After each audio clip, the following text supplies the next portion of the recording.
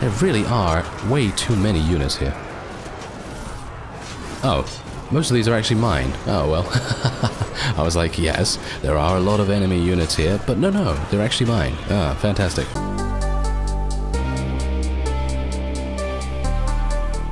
Hello reformers and welcome back to Warsword Conquest and we are once again here in Empire territory ready to besiege Averheim and uh, hopefully we will be able to take this without any problems whatsoever. I think we might have a good shot because obviously most of the time if we get a good layout in terms of the siege then uh, well everything's gonna go very nicely indeed. Uh, wow okay wait a second right here this is crazy. This is an amazing layout. Have you, have you seen this? Have you seen this with your own eyes? Well, of course, I think you probably have. Anyway, we are going to get our people into position. I just need to make sure that we are the closest possible, but not too close. You know, we need to make sure that our gunners are in a decent enough position. I think this is pretty decent. Skeezel, you're kind of lazy, aren't you? Oh well, never mind. Let us uh, let us not bother him any further, because of course he is going to be in camp with a pretty bad headache, pretty big case of well, bullet in face, I guess. He did get killed pretty quickly, but uh, he does only have a pole arm. He does not have a shield of any kind, so of course he is probably going to have a bit of an issue with that. Anyway, as you can see, this is going very, very well indeed. And uh, I guess this is going to give me an opportunity to maybe... Oh, wow. Okay. Apparently not. I was thinking to myself, yes, I might actually be able to get a couple of kills, may maybe a little bit of experience, you know, against some uh, higher tier units, because obviously higher tier units kind of difficult to, to kill first Slive, because in general, unless I get a little bit lucky with a pistol shot, or uh, I use some kind of damaging magic, which of course I don't have. I don't have that much damaging magic. I have a lot of debuffing, debilitating, and, uh, well, somewhat converting magic, but I don't have anything that does direct damage just yet. I think we there, there are actually some spells that do direct damage. I do need to be a bit careful though, because I really do not want to die in this siege. I feel like dying in this siege would be really bad. So I'm going to try and see if I can just make sure I don't take any additional damage from now. Of course, I cannot use health potions. So let me see if I can, I can actually get a little... Really? Ah, yes. Okay, so here's the thing. Seems like our gunners are so incredibly effective from this range, and indeed from this angle, that I'm barely able to get any kills whatsoever. But I guess what I can do is I can kind of act as a bit of a, a bait I guess. I can kind of act as bait for the enemies to kind of come out on the ladder and just get shot immediately. So I guess that's a pretty decent thing. There we go. There we go. Okay, maybe, uh, yeah, yeah, there we go. Okay, so obviously, thanks to the fact that bullets do generally tend to go through shields, at least partially, we are able to get some damage off here, but for the most part, it is kind of... Ow. That really hurt.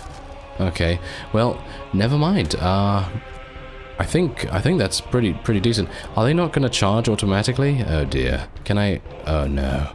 Okay, so they're not going to charge automatically, and those guys outside, uh, what shall we say, here in the in the courtyard, they are not really going to do. Are they? Are they actually going to slowly move towards us? Because I actually thought my people were going to charge. Uh, yes, I, I. You know what? Should have charged my infantry beforehand. Alright, so upon retreating, we are going to miss out on that small amount of renown, but obviously the renown is not really needed any further. We do have a pretty significant party size as it is, so we don't really need to worry about that. But then there we go. We can just say you'll be ransomed and your soldiers will live. Technically, I wouldn't say this in terms of a roleplay standpoint because obviously Skaven they don't they don't really do this negotiating thing, do they? Or at least I don't think they do. If uh, Warhammer Vermintide is anything to go by, but uh, yes, anyway, point is, it is uh, highly unlikely that that would have been happening. Anyway, let's get a Slaaneshi Knight. I'm looking forward to trying out those Chaos units. And, uh, okay, so let's have a look. Anything here? Nothing really much, but I'm going to take a little bit just to sell. And now, here's the thing. I'm not entirely sure in the world of Warsword Conquest whether you can attract enemy vassals to join you. I don't know whether that's a thing, but if it is, because uh, I thought I thought I heard something actually where someone said that that had been changed, but if it hasn't been changed, then I think it would be a good idea to try and defer appointment of a lord at least a little bit here. Obviously, I wanted to give Valans a, a, couple more castles and villages just to make sure that his recuperation rate was a little bit quicker. But I think for this, we're just going to defer appointment for the moment, and we're going to just have a couple of fiefs, not too many, obviously, but a couple of fiefs just available, really, just available for a potential vassal if they want land. And uh, hopefully we'll be able to attract some people as a result. Anyway let's uh, let's move on shall we? Let's move on and actually get somewhere else. Now you can see here that obviously our two other fiefs that we recently captured are still within our control apart from this one which is currently under siege so obviously we will need to react in a way where we will be able to capture something else so there's something else here 203 units. The other one had about 180, by the way. And ah, seems like Katja is not actually available for her engineering. And I think I'm probably pretty low as well. So, uh, hmm. Yes, I'm at 15%. That's not good at all. That really is not good at all. So I guess what I'm going to do is I'm just going to kind of stand here a little bit. I don't really want to do that, to be honest, for too long. Let's see. Yes, there we go. Okay, she's back on her feet. So hopefully we will be able to do this. It seems like a village is being is being raided and there are a couple of vassals nearby to us as well, so we do need to be a bit cautious of that, but what I'm trying to do is beat the AI. I'm trying to beat the AI to the punch, really, because they are going to be pretty slow in besieging things, and I'm going to try and, uh, you know, get there before they can that's basically it. Anyway, let's go in and see what we can do here. I don't know whether it's going to be such a favorable layout. Ooh, this layout is bad. Or is it? Yeah. Yeah, this, this layout is pretty bad for us, actually. There is no clear... Wait a minute. Wait a minute. We might actually be able to make... Hmm, can we make something happen here? I don't know. We might be able to be a bit sneaky, Skaven sneaky, level 10 enabled. yeah, this is, yeah, this is maybe going to be okay. I just need to check around the side here at whether this is actually possible because if we can get on the side here with our, our with our archers and gunners no this does not seem to be possible okay that is not very good I feel like that is going to be kind of kind of tricky but we're gonna see what we can do about it uh yeah, I have no idea what we're supposed to do here. Uh, hmm. I guess I could just go... Okay, so yeah. Oh, wow. Okay, yeah, I'm gonna die. I'm gonna die here. I'm gonna try and try and see if I can just run away a little, little bit and just try and protect myself. This is a very difficult layout. This is very, very difficult indeed. I'm not entirely sure how I'm supposed to do this, but I suppose we'll just have to try our best. Uh, especially with a ranged army. This would be very easy if I had a whole bunch of infantry, that's for sure. Alright, so uh, yeah, I actually did back out of that particular siege.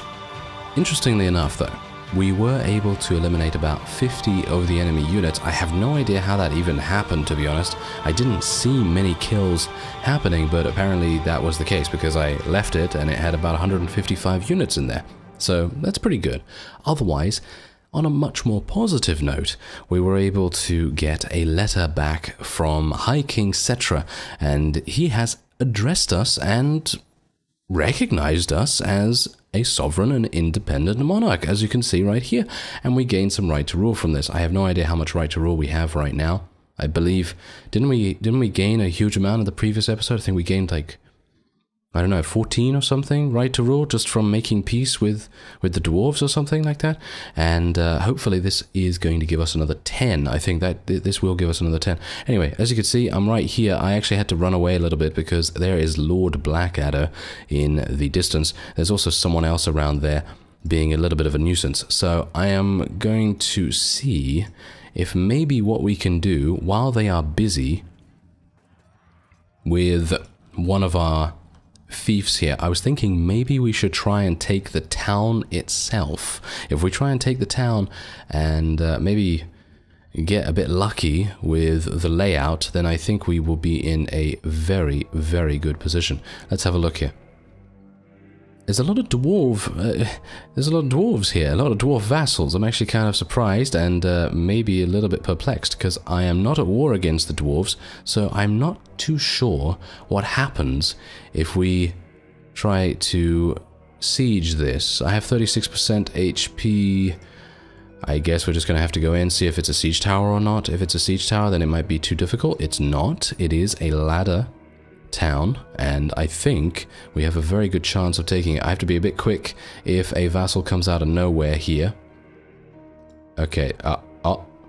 Ooh, that was close. That was close. There were a couple of vassals coming in, and thankfully we were able to do this beforehand. Okay, so let's take a look at the layout. The layout is the biggest thing that we have to take into account here, because if it's a bad layout, then I think we will have some problems. Okay, okay. This is kind of that is very bad. That was very, very bad indeed. And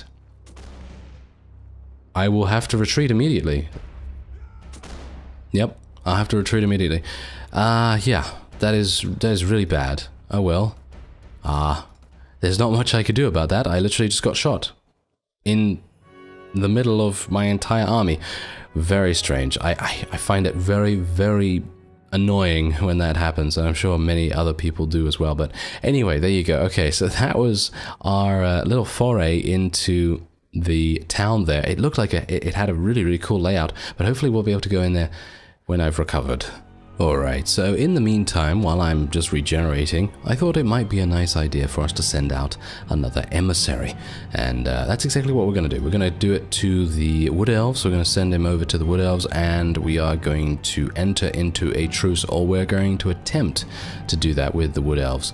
So let's see, Nagrat, yes, you are going to go off and do that. There we go. Fantastic. And I think I'm going to see if I can maybe get another patrol out here. No, another two days. Oh, well, never mind. Okay.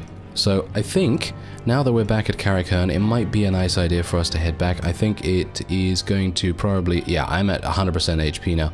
Why am I at 100%? Did you see me in there? Did you see me in the uh, the Lord's Hall just there? I was literally at about 60% HP, but apparently it now says that I'm at 100. So I don't know what happened with that, but okay. But uh, is obviously doing a very, very good job, and uh, we're going to head into the town once again. I think we should have a pretty easy time of it once we get inside. If I get killed again immediately, then uh, I think we'll probably just chalk it up to bad luck and I will not ever come in here again. Or at least, not in this episode. So let's have a look and see if I'm able to survive a little bit better. I'm going to bring out my shield almost immediately because apparently the AI has a bit of a bit of an issue with, uh, shall we say, targeting people without shields. They will focus people without shields. So let me see if I can do something a little bit here. Yeah, it seems like that is indeed the case and we are going to see if I can just get my people in a decent enough position to, well, murder everything. Let's see if they, they're actually going to start doing that. Yes, yes, fantastic, fantastic. Okay, this is exactly what we want to have happen. And uh, are those are those dwarves actually fighting me right now? If those dwarves are actually fighting me, this is really not very good. I mean, uh, I would have expected them to kind of not join the battle, but, well, I guess if that's how it has to be, then that's how it has to be. Yeah, I should really put Katya, by the way, in a different unit category, because at the moment she is in the archer category, and she is obviously being killed just as easily as any other archer. And that's not very good, because, of course, she is our medic and having our medic on the front lines or near the front lines is never a good idea, so I should probably do something about that relatively soon. And uh, yeah, actually, you know what? Maybe we should just tell our people to charge in. I mean, we're being eliminated pretty quickly here, but I don't think we need to worry too much about it. I mean, if these guys literally just get knocked unconscious consistently, then I think we're going to be pretty fine. But obviously there's a couple of Slayers here as well. There's that Giant Slayer. Look at that, Ignore Pain. Soaked 45 damage for that guy. I need to get some Ignore Pain on uh, Slythe, I think. That's probably going to make a big, big difference to his survivability, and I know that uh, it would make things much easier for us. And let's see if I can... Oh, look at that. There's actually a top level here. That's pretty cool. Alright, so do I want to start charging in here? Because we've already eliminated 61. This feels very much to me like a war of attrition, and I'm not a big fan of those. I'd like to just go in to a particular fief, take it in a very, very fast manner, and then, you know, go somewhere else, do whatever I need to do, and so on, because I feel like if, if we're going to do a war of attrition, it's going to leave us a little bit too weak, in my opinion. And I mean, we've got a rat ogre here, that's granted. I'm hopeful that the rat ogre will actually prove to be very, very useful. Never mind. You see that? You see that? That's exactly why I thought to myself, probably not the best idea to send our infantry in. Alright, so this actually seems to be a bit of a better setup than what we had last time when we were in here. I actually did try to move all of my engineers up to the ladders themselves and just ordered them to stand as close to each other as possible because it seemed as though they needed to get into a stable and, and sh shall we say stationary position for them to be able to do that. And I'm talking about all of them. For them to be able to fire needed to be standing still and if one of them in the line is moving then it disrupts everyone else for some reason. I don't know why that happens, it's just an AI behavior of some kind, but yeah. Having these guys all stand like this, that is the only way I could find to get these engineers to fire. So thankfully, as you can see, we've already eliminated about 25 of the enemy's units and, well, this is the thing. I've come to the place that we ran away from beforehand and... Yeah, well, that was my own bad. You know what? The uh, various units that you can get as Chaos look extremely menacing. Look at this guy. What, what, what, what, what kind of design is that? That's crazy. That's really, really cool looking, actually. Kind of kind of monstrous, uh, you know, kind of. Uh, yes, anyway, we are going to take a little bit of a more of aggressive approach here, with the exception of obviously me dying every single time. We're probably going to tell our infantry and our cavalry to charge in here, because it feels to me like what we need to do is clear out the battlements as much as we can and then just get our gunners to stand on the battlements and try and get some kills that way because it seems to me like we're not actually able to get anywhere with our gunners outside the walls so we are going to need to penetrate the defenses in more ways than one and uh, yes that's going to be a little bit difficult a little bit difficult especially considering these guys right here oh yeah nice headshot nice headshot Slive you weren't able to kill the other one though, so I'm pretty sure you're going to die soon. Yes. Pretty sure. Anyway, let's see if I can... Really? That was... Oh, two misses? Are you serious? Come on now. Ah, oh well, never mind. I guess uh, we're gonna just have to try our best to... Wow, there's so many. There really are way too many units here. Oh, most of these are actually mine. Oh, well. I was like, yes, there are a lot of enemy units here, but no, no, they're actually mine. Ah, fantastic. Okay, well, hopefully I'll be able to get past here and maybe take out the gunners, because those gunners are eventually going to start firing on us, and uh, we want to make sure that we don't necessarily die from them, thank you. I don't mind taking an axe to the face, but taking a bullet to the face is a bit different. You know, it's like it's like you got cheaped up a bit, you know? You're just like, ah, you're dead. I see. Instant death.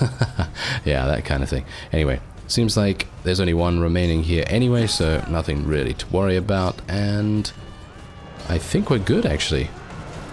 Yeah, I think that's what it needed. These kinds of layouts seem to need a bit more of an aggressive approach rather than the turtle style that I've been adopting most of the time because we just have so many gunners. And I have lost quite a few gunners over the past couple of siege attempts at the town at, at and at this place, obviously, previously.